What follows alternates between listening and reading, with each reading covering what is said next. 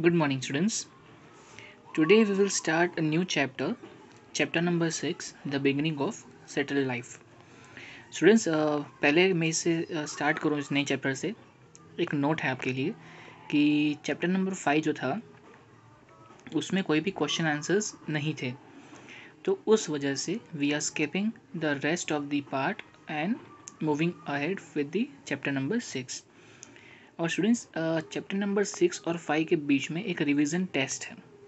So I will request you all students कि अपने knowledge को चेक करने के लिए और एक बार chapter number one two five तक रिवाइज करने के लिए उस रिवीजन टेस्ट को खुद दे uh, खुद uh, दे कर आप एक बार क्रॉस चेक कीजिए स्टूडेंट्स तो आपका नॉलेज आपको मालूम पड़ेगा। एंड इसके साथ साथ आप अपने एग्ज़ाम के लिए प्रिपेयर भी हो पाएँगे। So students before we uh, let us now move on the chapter number 6 and start uh, from first paragraph. So as you can see in this image this is the image of goma 2 and his family. Okay? They live in a cave and uh, this is around 12000 years ago. This is a story of a boy 12000 years ago. So goma 2 one beautiful morning around 12000 years ago बारह हज़ार साल पहले एक बहुत ही खूबसूरत दिन था। Young Goma too was preparing to go for hunting with tribe एक छोटा सा बच्चा गोमा टू तैयारी कर रहा था हंटिंग पे जाने के लिए उसके ट्राइब के साथ। He was very enthusiastic and had prepared a weapon by tying a sharp stone to a stick वो बहुत ही एंथुजियास्टिक यानी कि बहुत ही उत्साह से भरा हुआ था और तैयारी कर रहा था वेपन में वेपन को टाइप कर रहा था।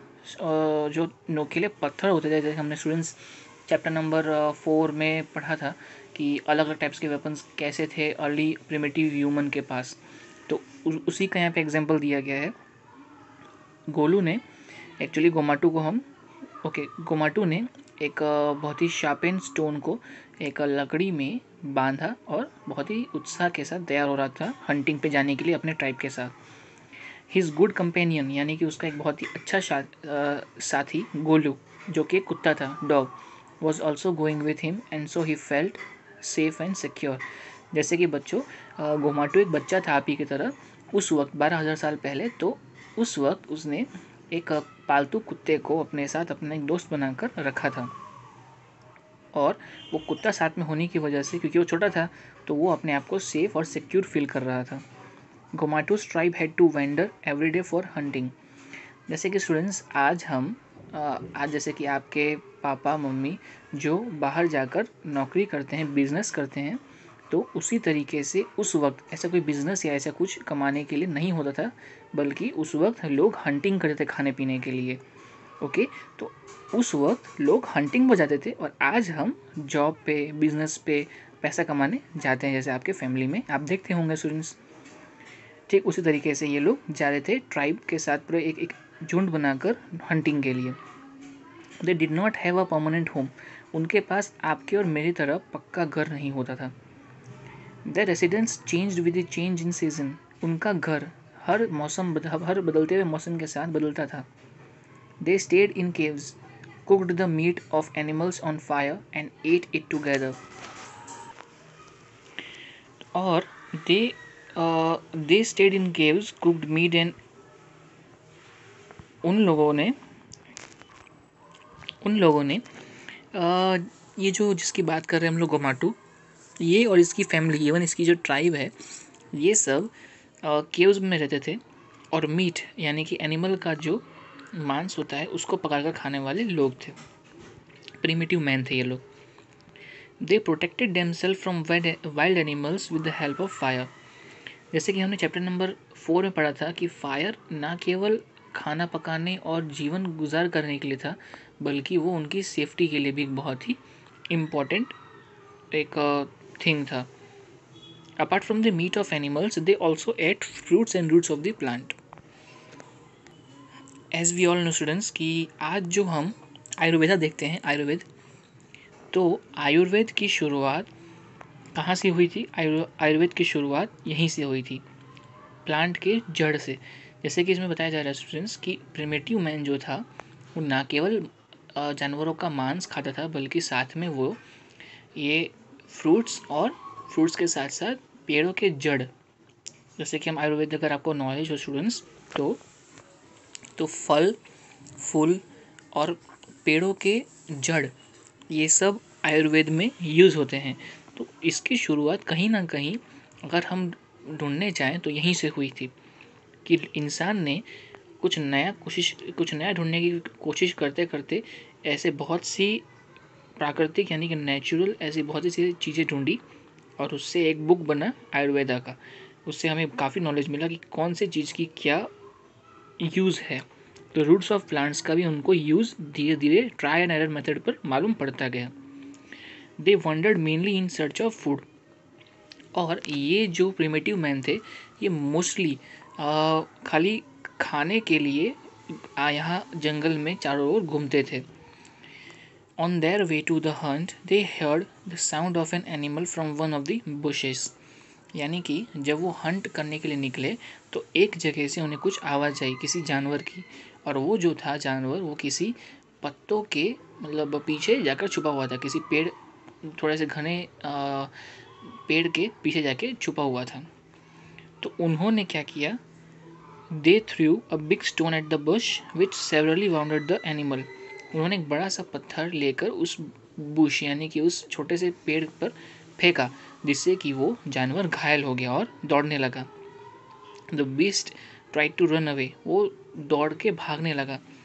लेकिन the entire group attacked and killed it लेकिन उसके भाग, भागने से पहले ही उस पर बहुत ही तेज़ी से इस पूरे ट्राइब ने हमला किया और उसे मार गिराया।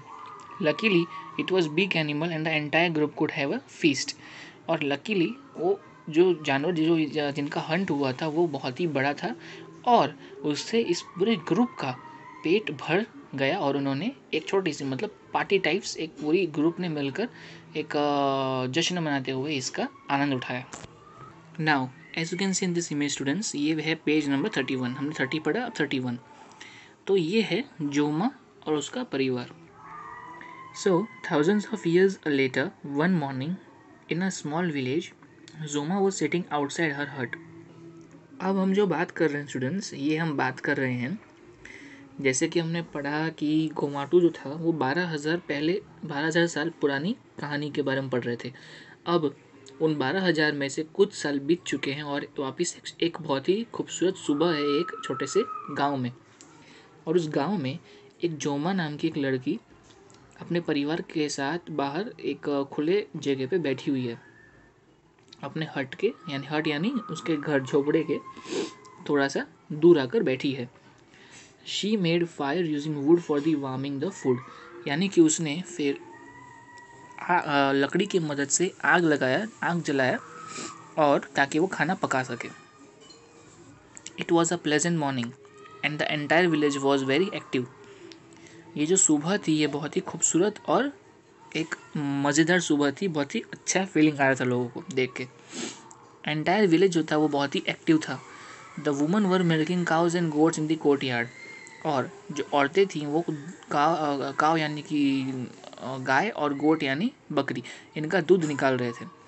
Some men were sharpening their agricultural tools like the sickle इसका ये मतलब है कि कुछ मैन यानी कुछ आदमी, अपने टूल्स को स्थापन कर रहे थे एग्रीकल्चरल टूल्स एग्रीकल्चरल टूल्स मतलब यानी जो फ़ार्मिंग करते वक्त काम में आने वाले टूल्स जैसे कि सिक्कल सिक्कल का मतलब हो गया कि स्टूडेंट्स आपने एक सी लेटर का एक आ, देखा होगा अगर आपको मालूम हो तो। एक वेपन आता है सी टाइप का। एक्चुअली वेपन नहीं है वो है एग्रीकल्चरल टूल जिससे कि फ़सल को काटने में मदद मिलती है। फिर है as they would soon need them to cut the crops in the field some were making clay pots and baking them in the sun कुछ लोग क्ले uh, के पॉट्स बना रहे थे और उसे पका रहे थे धूप में।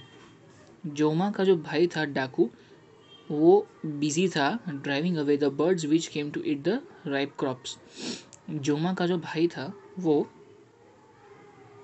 आ, uh, वो वो पक्षियों को खेत पर से भगा रहा था क्योंकि वो पक्षियाँ जैसा हमें पता है स्टूडेंट्स कि पक्षियाँ जो होती हैं वो फ़सल को बिगाड़ देती हैं वो उसे खा जाती हैं। तो वो उसे भगा रहा था।